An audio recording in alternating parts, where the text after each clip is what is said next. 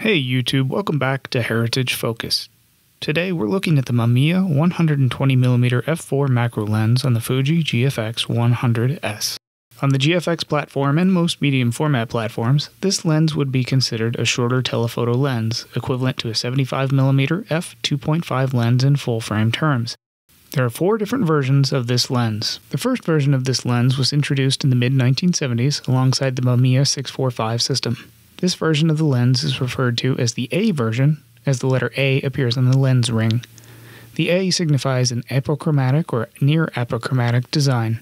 In 2000, the lens was updated to include a 4 bit CPU, which added focus confirmation to be used with the newly introduced Mamiya 645 AF camera, which featured autofocus capability. This version of the lens is referred to as the MF version, as the A on the lens ring in the prior version was replaced with the letters MF.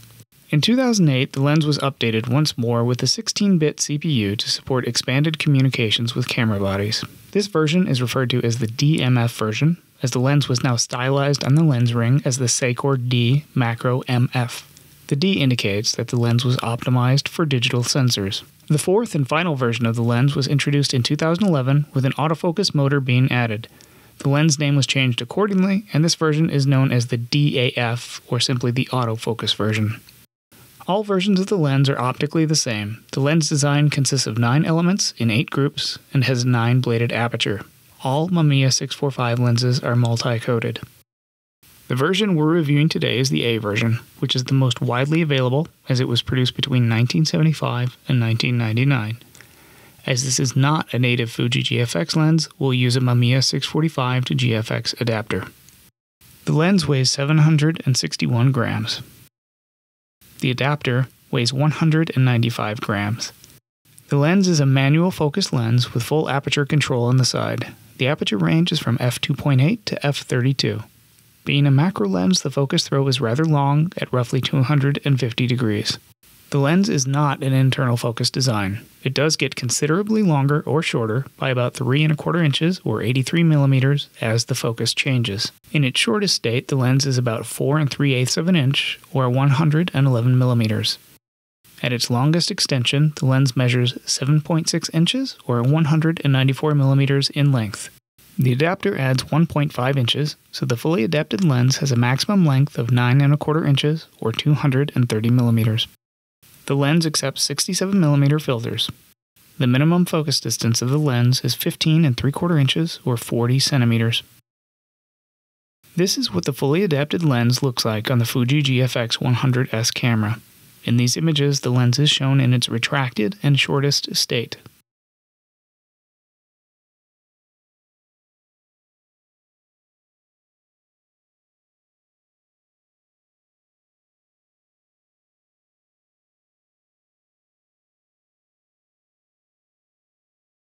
Finding a quality version of the lens is moderately difficult, and eBay will primarily be your best bet. As of the time of filming, Used Photo Pro was the only premium, pre owned lens dealer with availability, and even then, they only had one copy. There is a small selection of the lens available on eBay, primarily from the Japanese camera sellers. There were 24 copies available at the time of filming, ranging from $215 to $652. There are also other copies available if you're willing to purchase them paired with a Mamiya 645 camera. Let's take a look at some sample images and you can see how the lens performs on the Fuji GFX 100S. Regardless of producing this video in 4K, YouTube will compress these images, so remember that the full resolution images are always available to download at heritagefocus.org. Since this lens is a native medium format lens, vignette is not a factor of adapting the lens to any digital medium format system. There is full sensor coverage and there is no need to use a 35mm or crop mode with this lens. Bokeh is just okay on this lens. Autofocus transition zones are smooth, but as this is a slower lens, you need to be conscious of distance to subject as well as the background distance in order to create a pleasing out of focus background. Background items that are not very far away will be rendered similarly to a mild telephoto f2.8 lens on full frame. Out of focus specular highlights wide open are rendered a bit oblong, almost a football shape, but are pleasing and not overly distracting. Flare control on the lens is above average for a lens of this era, but about average when measured against most offerings today. The lens will flare in direct sunlight and in some cases indirect sunlight as well. Flare typically consists of a brighter center with purple or green spots radiating away from the light source. This lens is denoted as an A lens from Mamiya, meaning it has a near apochromatic design and as such has very little chromatic aberration to speak of. As a medium format macro lens, sharpness is probably the strongest area for this lens. Despite not being optimized for digital sensors like the versions of this lens created after 2000, the fact that the image circle is much larger than the crop medium format sensor here really covers up any corner or edge weakness that may be present with the lens. You can expect a sharp image, edge to edge, even wide open. Despite being over 45 years old, the lens clearly outresolves the 100 megapixel sensor on the GFX 100S, and with the 1 to 1 magnification, it provides a very competent macro capability.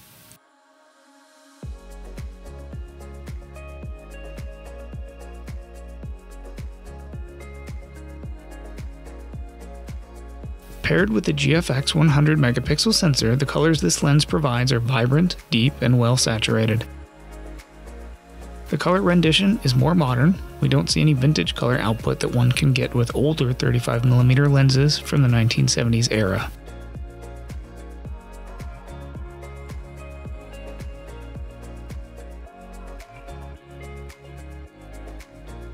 Now it's time for the HTSA. The HTSA is our patent pending Heritage Focus highly technical subjective analysis. This is where I assign quantitative value to specific lens characteristics based on absolutely no scientific measurement whatsoever and based solely on my experience and personal opinion. When it comes to bokeh, I rated it a 7 out of 10. It's good, but it wouldn't be my choice if I was chasing great bokeh. Color is a strong suit, receiving 9 out of 10. When it comes to character, this lens is a macro lens first and foremost, and as such, doesn't possess any significantly unique characteristic that would set it apart from many other lenses. 5 out of 10. Flare control is adequate and on par with modern consumer digital lenses, 6 out of 10. Size is not a strength. The native GFX lens is lighter and much smaller, especially at full extension, 4 out of 10. Weight is average by medium format standards, 6 out of 10. Price is another strength of the lens. Given the price of a new native GF120 macro lens is roughly 2700 USD, the average asking price of $478 on eBay seems like a bargain. You'll need an adapter, which may cost another $100 or more. 7 out of 10. That's it for the Mamiya 645 120mm f4a macro. If you enjoyed the content and found it useful, please do the thing and the other thing. Thank you again for watching Heritage Focus, and remember that you can always download the full resolution samples of the images shared today at heritagefocus.org.